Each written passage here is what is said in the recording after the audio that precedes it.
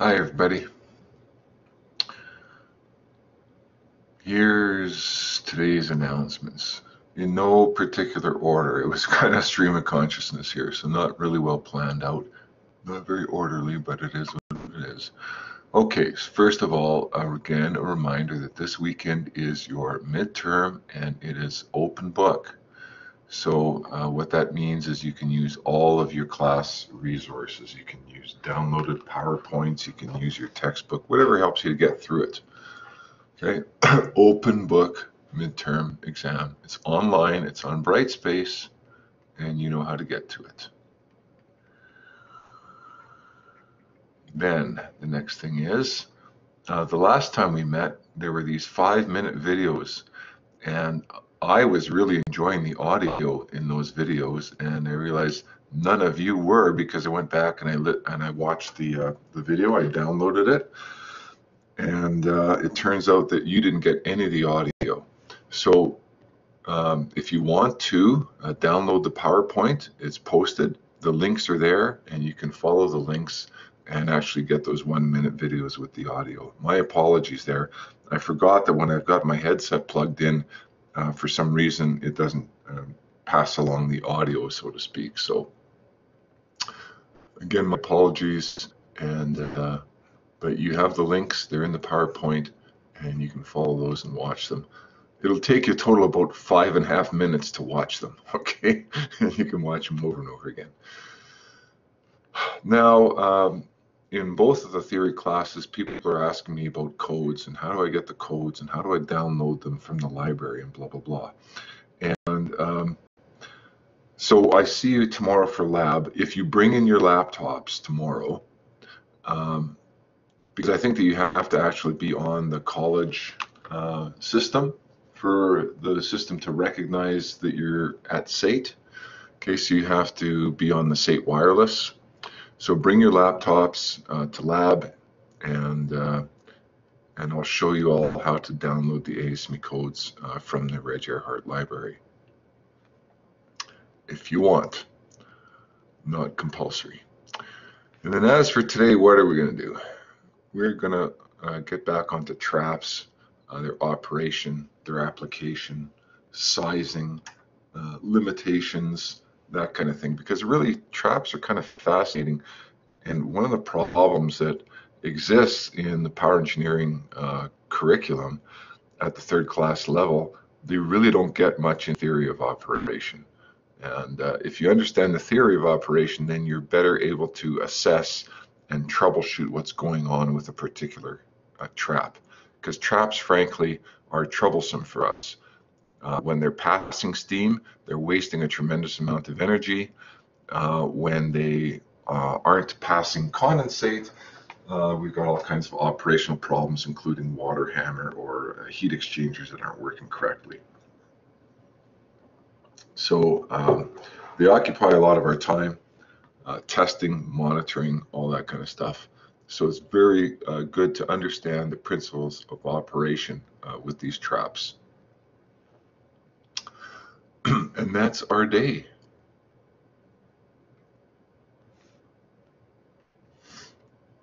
So let's go on to our PowerPoint.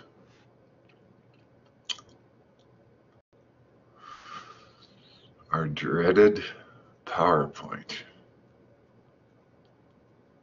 Yeah, okay, there.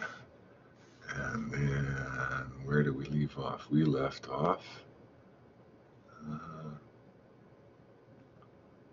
over here.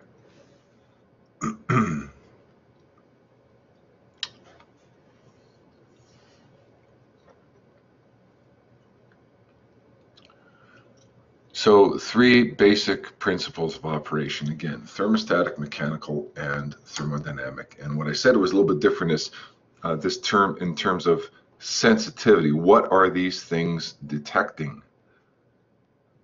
Where's my menu?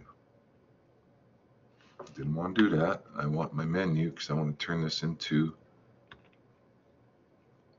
a pen. And it just isn't doing that, is it?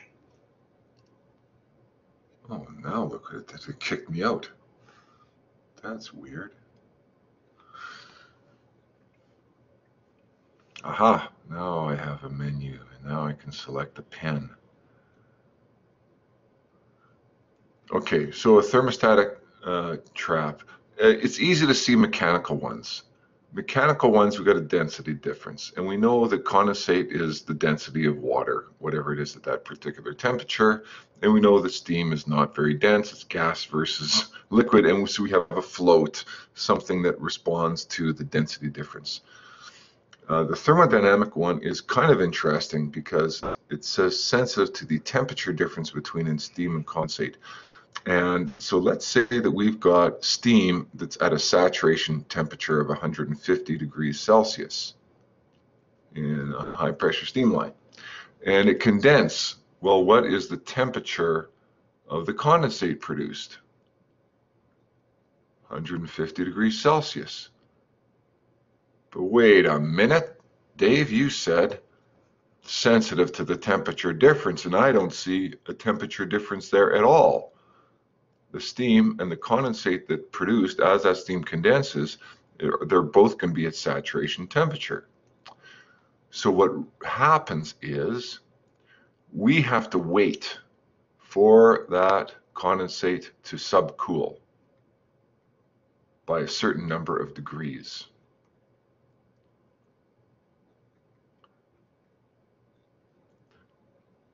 So let's say it has to subcool to 130 degrees Celsius.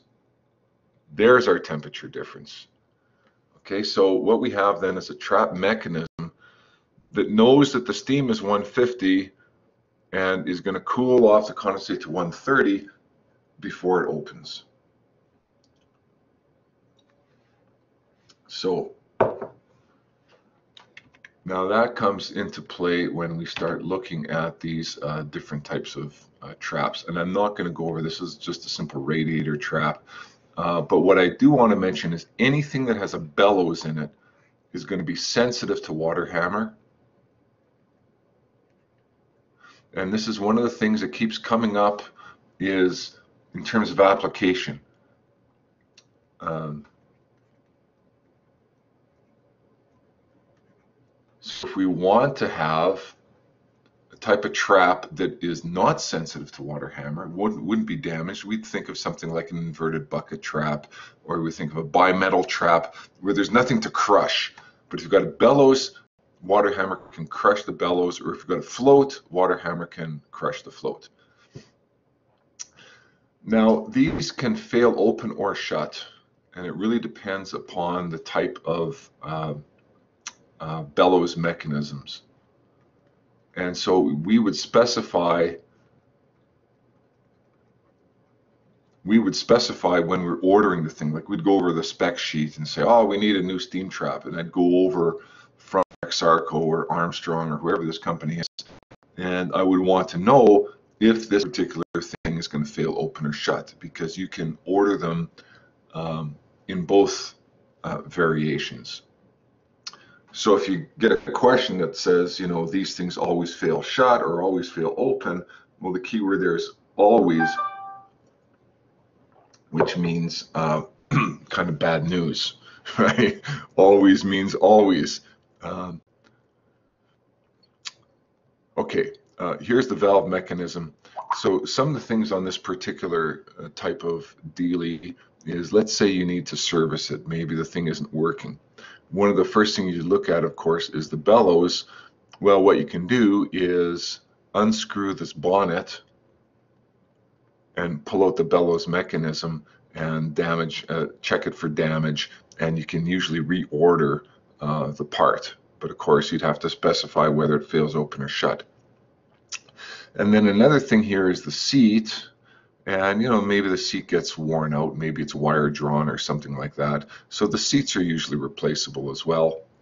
Uh, but a lot of times these traps are kind of like um, disposable because they're fairly small and inexpensive. So if the whole trap costs you 300 bucks you know um, and if you need a new bellows and the bellows cost you 150 and you need a new seat that costs you 50 bucks and you're going to spend 200 bucks just rebuilding it plus the cost of your labor, a lot of times it's just like, ah, throw the thing out.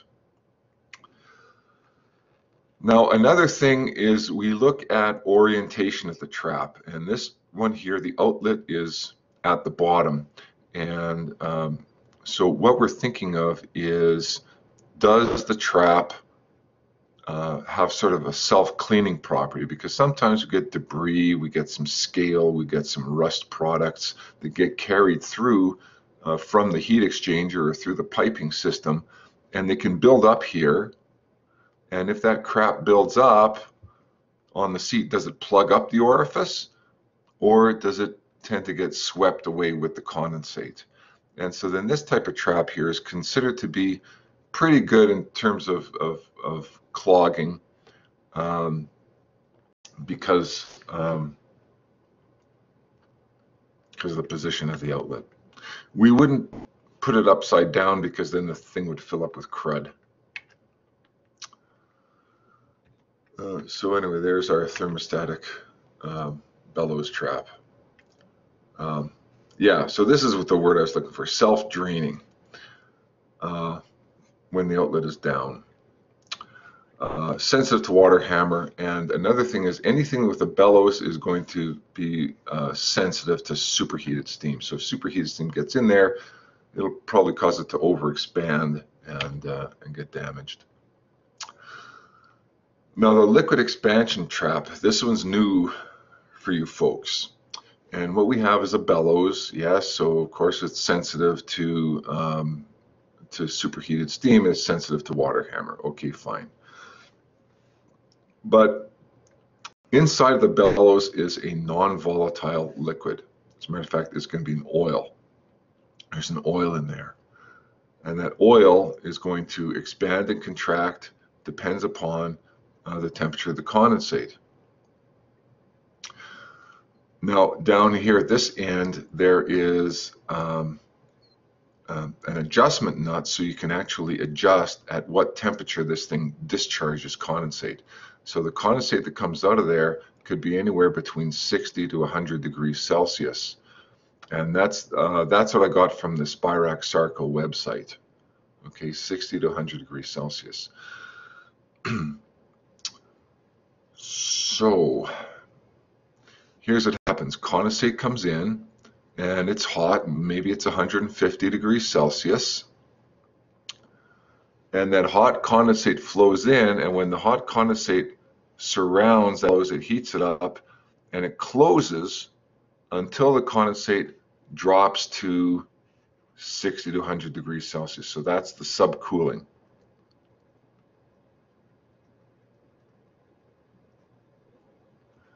And that can be a bit of a problem. Let's say in our steam system, the saturation temperature is 210 degrees Celsius. So it lets in condensate that's in this case 210. That condensate has got to cool off, you know, 110 degrees Celsius before it actually gets discharged. What that means is the condensate will build up and build up and build up inside of the drip leg, inside of the um, steam pipe, whatever. And it's a real problem let's take a look at a little graph here. And this is from Spirax Sarco. So let's say that we've got a set temperature where that trap opens up. And it's going to be 90 degrees in this example. So I'm going to make a little line here that goes across there. So that's a fixed temperature response line. Now, when the pipe is fairly cold, uh, it's at low temperature and low pressure. And then as we um, warm up the steam line,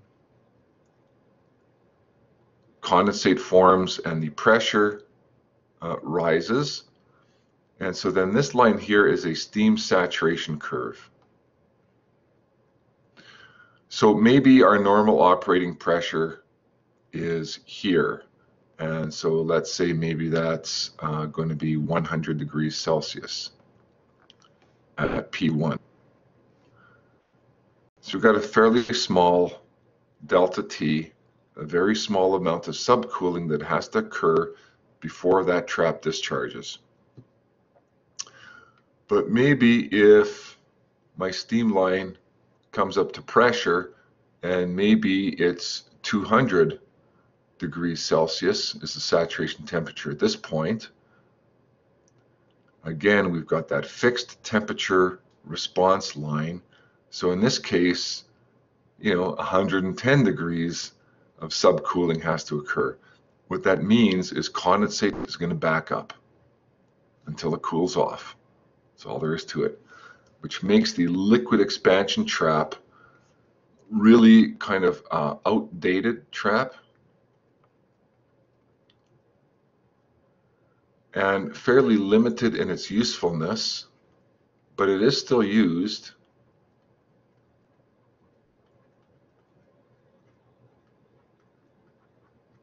And next we're going to take a look at specific applications for it. So first of all, let's take a look. Here's a steam main and look at this uh, drip leg. That is a massive drip leg and it can hold a lot of condensate, first of all. Okay, holds a lot of condensate, which is beautiful.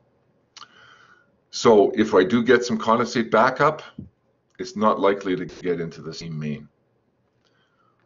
Now, down low, I've got a uh, threadolet fitting and an isolation valve, and there's my liquid expansion steam trap. And what I'm going to use this thing for is during startup or shutdown. So when it's starting up, this pipe is cold, and there's going to be lots of condensate forming and the condensate will be about 100 degrees Celsius and at that 100 degrees Celsius this trap is going to be open and it'll be discharging condensate with minimal backup and also the open is going to be discharging air and CO2 that are in the steam main. Now once this thing is up temperature. So let's say that we've got steam at 200 degrees Celsius in here. We're going to condensate form. The condensate is going to be at 200 degrees Celsius, and the condensate is going to build up in here in this drip leg, and it's going to try and go through that liquid expansion trap. During normal operation, that trap is closed. Right? Because it doesn't want to discharge 200 Celsius it wants to discharge, say, 90 degrees Celsius condensate. So there's going to have to be a lot of cooling going in this pipe before this thing opens. Actually, it's incorrect to say it stays closed. It operates infrequently.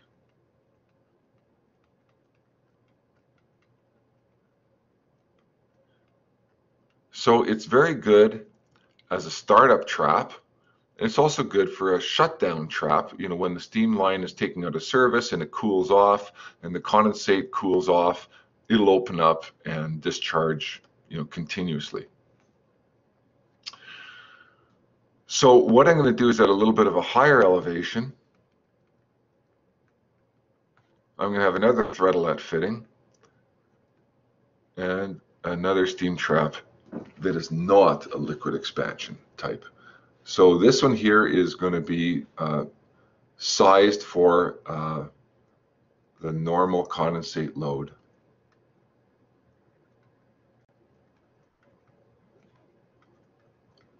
So in normal operations, this one here is doing like pretty much all the work. Um, but on startup and shutdown, this one kicks in. Uh, so when when we combine the capacity of both traps, uh, we get uh, adequate uh, sizing for a startup load.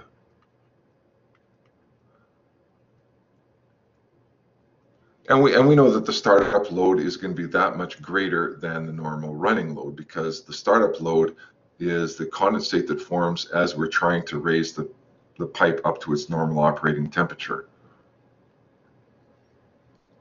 which is a lot of condensate. That's why when you guys are in the lab, you know, you make sure you open up the trap bypasses. The reason you open up the trap bypasses is to handle the condensate load as the turbine metal is warming up, as the steam line is warming up, okay?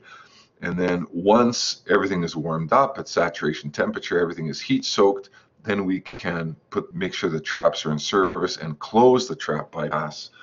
And the traps then can be a little bit smaller. They're sized only for a normal condensate load. So that's the liquid expansion. Okay, key in on the word liquid expansion. What's the expanding liquid? It's oil. It's got a fixed temperature response line, so at higher pressures, it'll back up condensate, uh, which is no good. So because of that, we usually combine it with another trap and use this as a startup or shutdown trap. But now the balanced pressure trap is really the same kind of trap, except instead of it having a regular liquid, it's got a volatile liquid inside of the bellows or the capsule. So there's the capsule. By the way, this one here is not in your Pan Global. And it's really a glaring omission because this is one of the most important traps in service today. That bellows, uh, that bellows or capsule there's a couple of different uh, varieties. Some might be a pressure capsule. Some might be um, a bellows. If it's a bellows, it's a little bit more sensitive to water hammer, but if it's a capsule, it's actually fairly insensitive to water hammer. So because it's got a volatile liquid in it, it responds to uh, pressure and temperature. It responds to temperature. So it's a saturation in, in temperature. Uh, here we go. Recall that the um, the uh, liquid trap had a fixed response line, but this balanced pressure type kind of works on the same principle, but because there's a volatile liquid in it, it has got a response line that increases and follows the saturated steam curve. So now at any point, we take a look at how much subcooling is required and it's always a fairly small amount of subcooling as opposed to you know the other one had that enormous amount of subcooling so this one here does not uh, back up condensate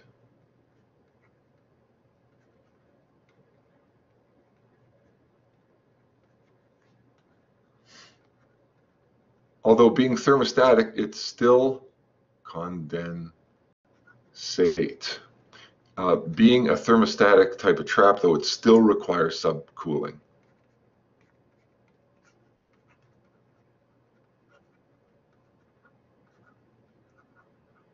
In order for it to actually discharge.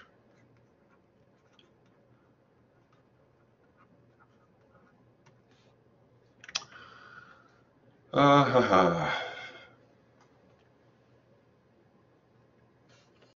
operate in any orientation. You don't need to have the uh, discharge to the bottom. You can have discharge up. You can have discharge to the side.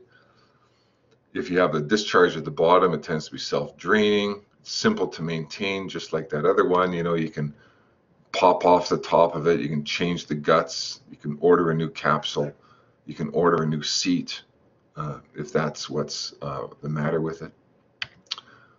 And here's a little animation that shows you how the thing works. Steam gets in there, it expands and closes off the little ball.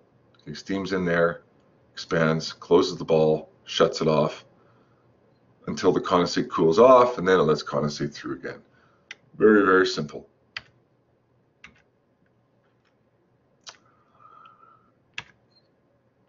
Now the next uh, is the bimetal. And again, this is thermostatic, so again, this requires subcooling of the condensate.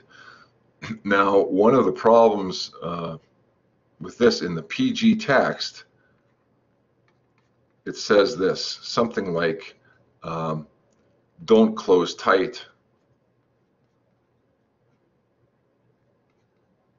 And uh, the reason it doesn't is because these little bimetals aren't very strong. They're not strong enough to shut this thing uh, tight when it's full of condensate so that they will pass some steam.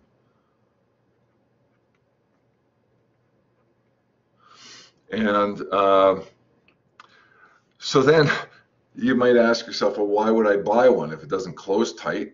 And because it's got these weak little bimetals in there, and plus it's going to, uh, it requires uh, subcooling. Um, why would I even buy the darn thing?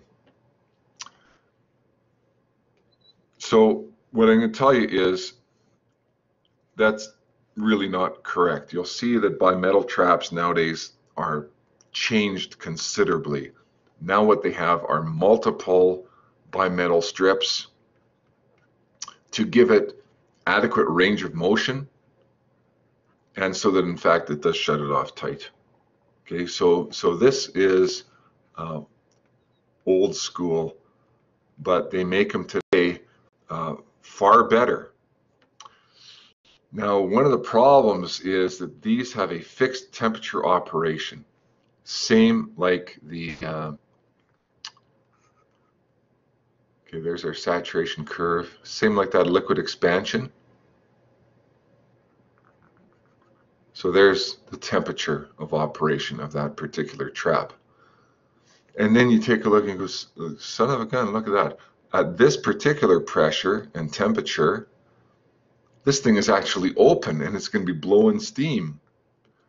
So you have to get to a particular temperature and pressure before it actually starts to close, you know. And then once it does close, as the steam temperature and pressure increases, once it comes up to normal operating pressure, again, we've got this drastic amount of subcooling that takes place. So we're going to back up condensate again. So there are some uh, variations in these as well. So what we'll do is we'll have a whole stack of these bimetals so that they have, like I said, the range and the power to operate the valve much better uh, but also we'll have different bimetal compounds. So this might be bimetal compound number one, where you've got metal X and metal Y. And then this one here might be bimetal compound number two, where we've got uh, metals A and B. And each one has got sort of a different characteristics so that now we can take the response curve of that trap and sort of have it in a straight line that way and a straight line that way.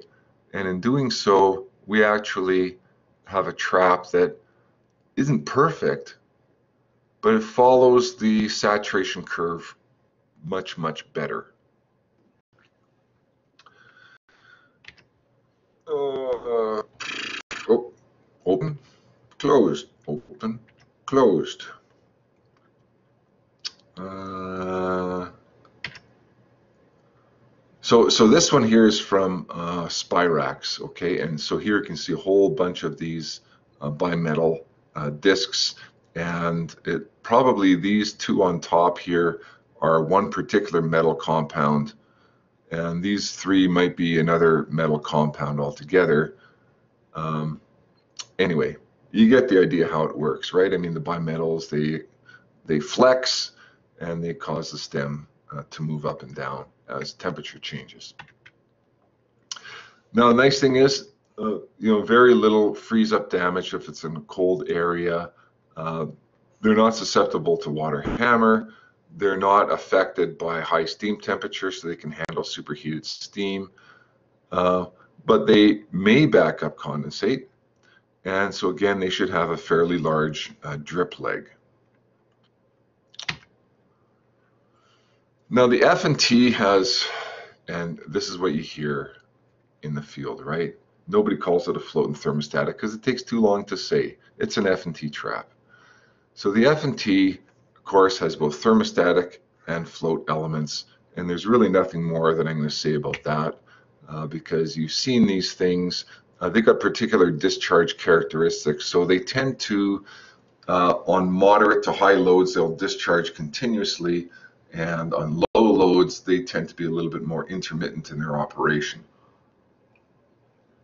They're very good on startup because this thermostatic element has got a fairly big orifice, and uh, so any air and non-condensables that come in get discharged pretty uh, easily. Now, sometimes people say that these are no good in, on an outside installation, and uh, I, I, think you can. Um, if you lag it, okay, if you put a lot of insulation around that thing, it'll retain the heat. Now, it says maybe lag to prevent freezing. And lagging is insulation, okay? It's an old term, and uh, but when I got into this field, we had tradespeople called laggers who are insulate, uh, insulators. So we can actually put lagging on this thing or insulation um, to prevent it from freezing. Now notice that thermostatic ones have to dissipate heat. Why? Because they need to subcool the condensate.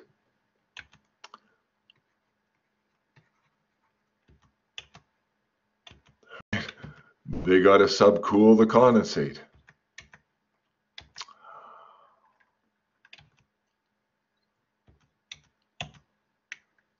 They gotta, they gotta subcool the con. So, so we normally do not put insulation on steam traps. But this one here is not about um, is not about temperature. Yes, there's a thermostatic element, but that's just an air vent. It works on a, de a density uh, difference, and because it has a density difference that it, functions on, then um, we can insulate it. We can lag it.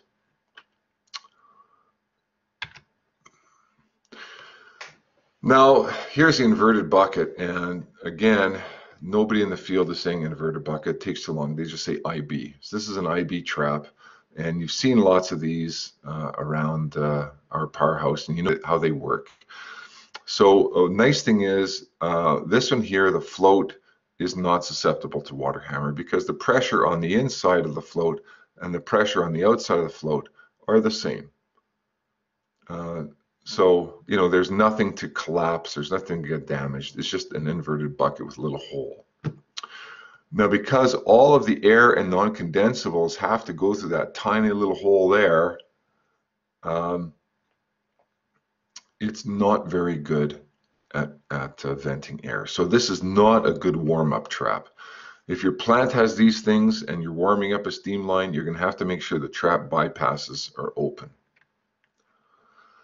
And because they're not very good at warm up, uh, we normally don't size them for a warm up load. We'll size them for a normal operating load.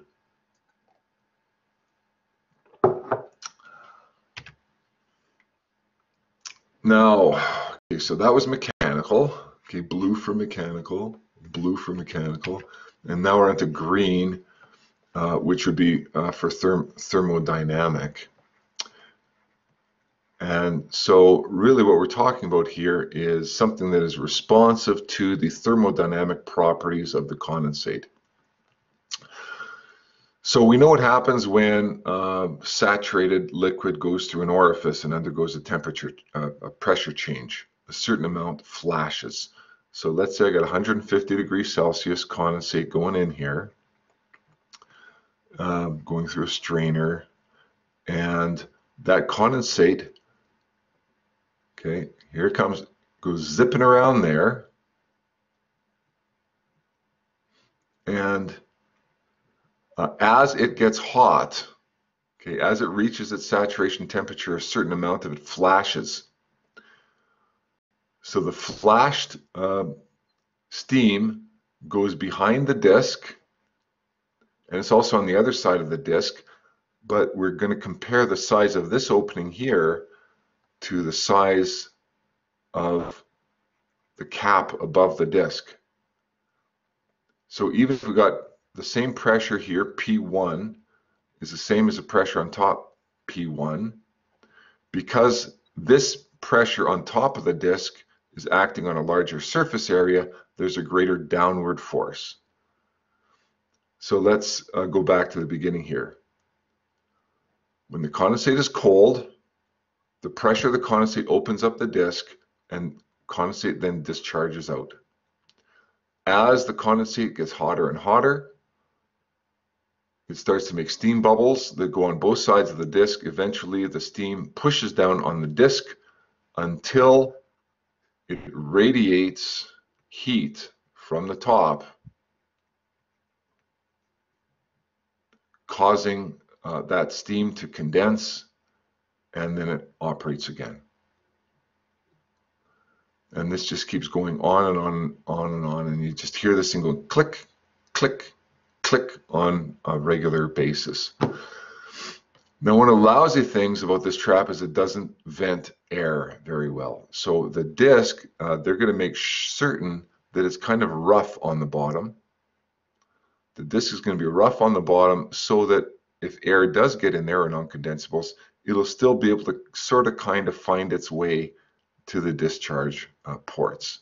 It doesn't do a great job, and so um, really it's no good for venting air because it's no good for uh, venting air. This is lousy for startup. So again, we would uh, we would select this for um, for running loads and not for startup loads.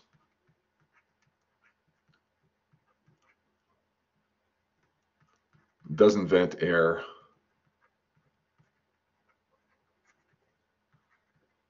Yeah, it doesn't vent air and it uh, um, backs up condensate.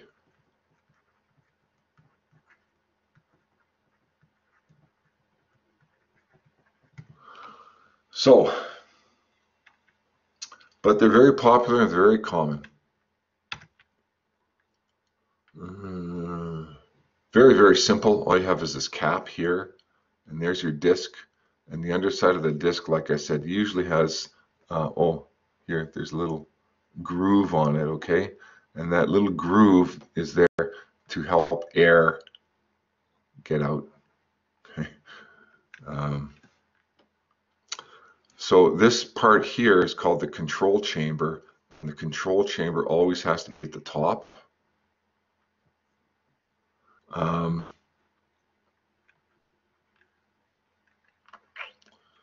it also has to have a pretty good differential pressure, otherwise it just isn't going to work.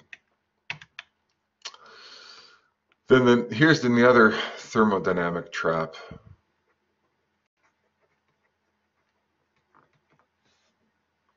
And uh, so what do we got here?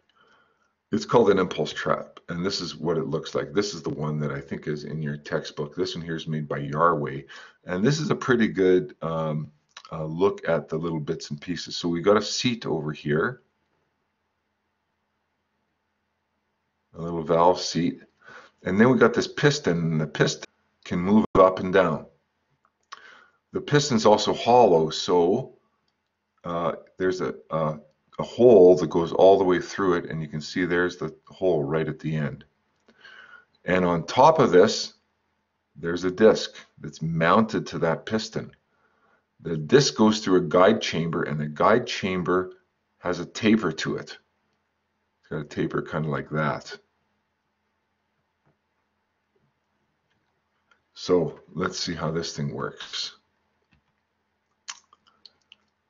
So there's the piston with the hole through the middle of it.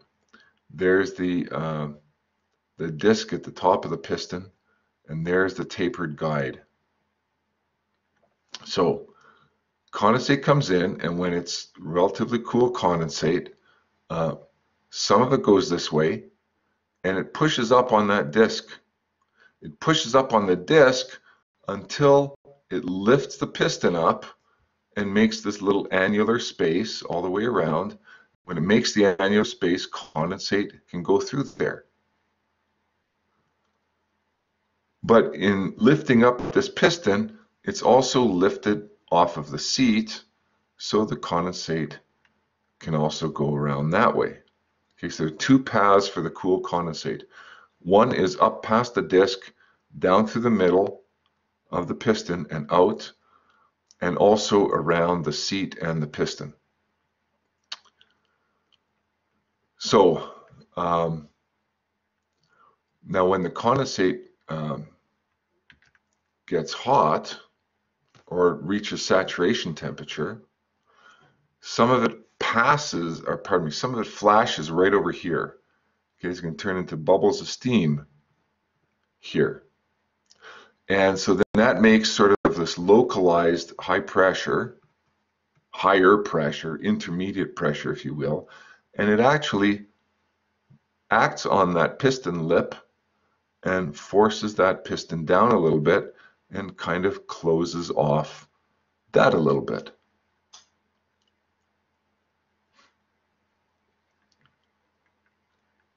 And then as the condensate cools off, the opposite happens. And then you're going to say, wait a minute, Dave, you didn't say anything about it actually shutting off the flow. And one of the problems with this type of uh, trap is that it always passes a little bit of steam. It never shuts off entirely. So, uh, unlike the controlled disc trap, this thing here actually uh, does pass air, which is good. Condensed get through it.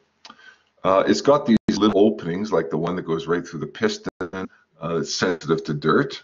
So, again, we don't want dirt getting in there, but uh, it's also sensitive to back pressure, and it doesn't shut off tight on low condensate loads. Like it, it doesn't do that. So, um, but that being said, they're out there. Um, they're still in use. You can still buy them. Uh, this one here is made by Yarway. So there's the big overview of the traps.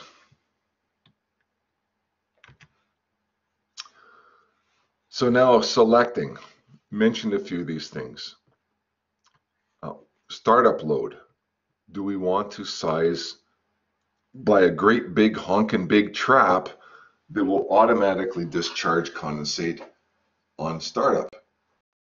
Or do we want to pay a lot less money small trap uh, that is only designed to handle the normal condensate load? Okay, so this is our choice. There's no hard and fast rule. If I'm going to size it for a normal condensate load, then I'll, I will have a plus manual trap bypass valves.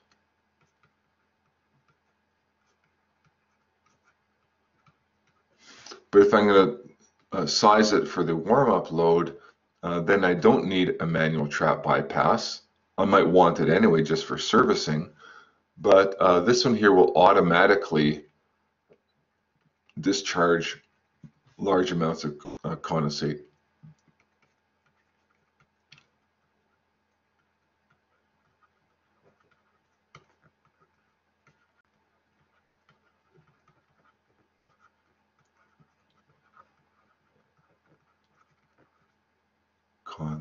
uh, condensate. Condensate. Um, steam temperature and pressure. Okay, so for example, all of these steam traps are going to have Canadian registration numbers. And as part of that CRN, you know, there's going to be information about temperature and pressure of the particular trap. We've got to make sure that the trap that we select uh, has a CRN, yes, and it is rated for the temperature and the pressure of the service.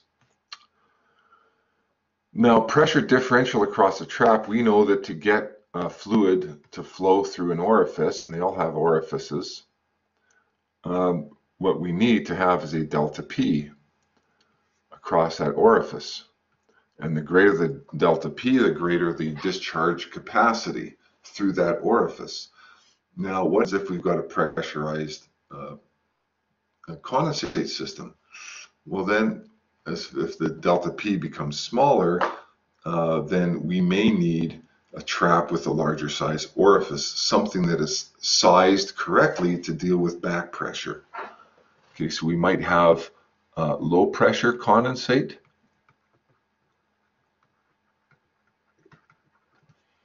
And we might have high pressure condensate. And both of those will affect the delta P and the back pressure across a particular trap. We have to make sure that we select a trap that can deal with the back pressure conditions that we've got. And maybe we've got um, a trap that might be exposed to the outdoors in cold Canada winter. So freeze up might be a concern. So warm up load. How then do we determine the warm up load? Well, there's this really crazy formula, and it's Q is equal to mc delta T. You may have heard of it before, and in this case, the pipe is steel, and so C is 0.494 uh, kilojoules per kilogram Kelvin.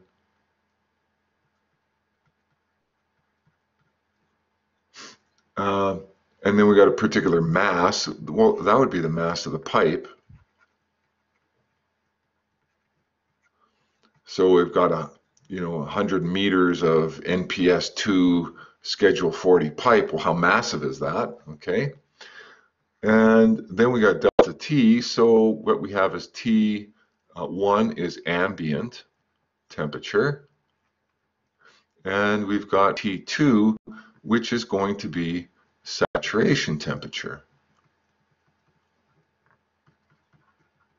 Oh, how about if I just put that all there? Now, if we want to know how many, um, how much condensate is going to form, we have to divide it by uh, HFG at um, at T2.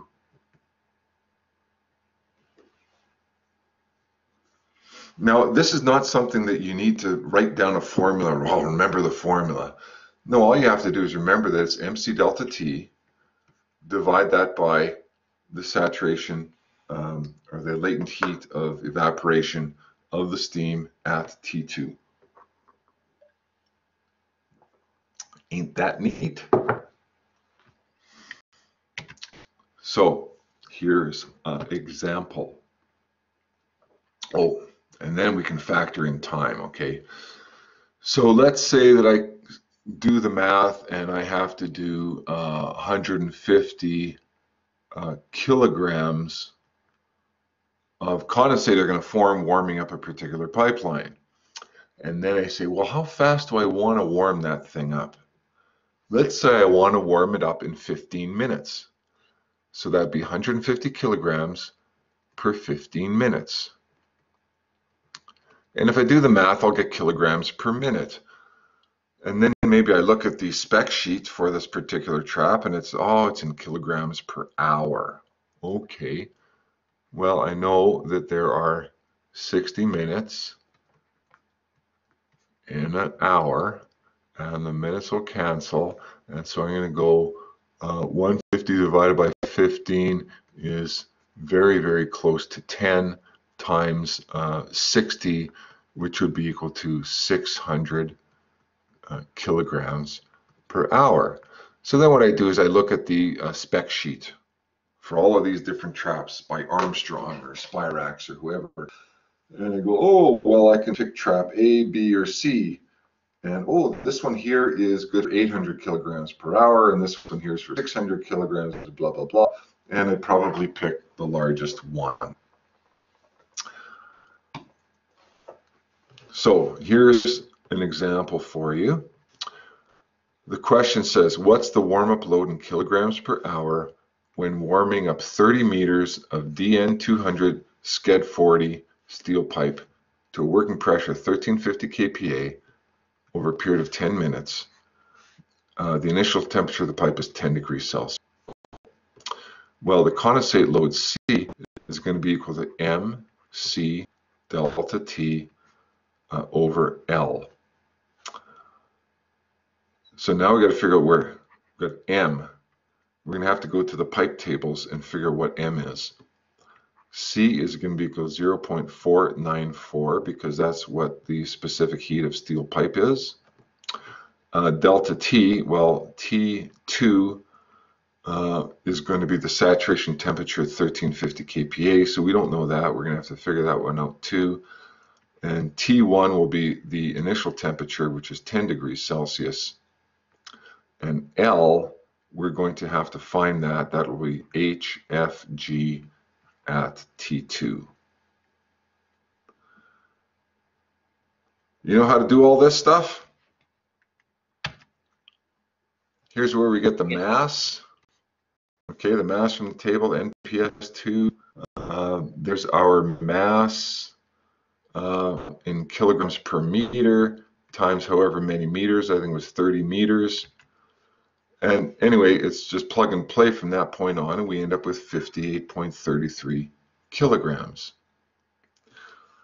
So to do that warm up in 10 minutes, 58.33 over 10 times 60, I don't like the way the Pan Global lays it out, is 350 kilograms per hour.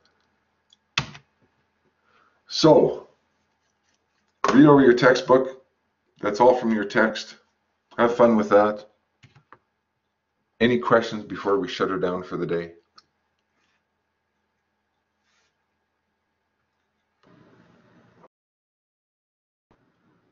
Brandon?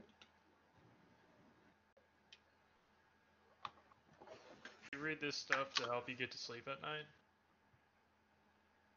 Ha! I read it to help me wake up in the morning. it gets me pumped up.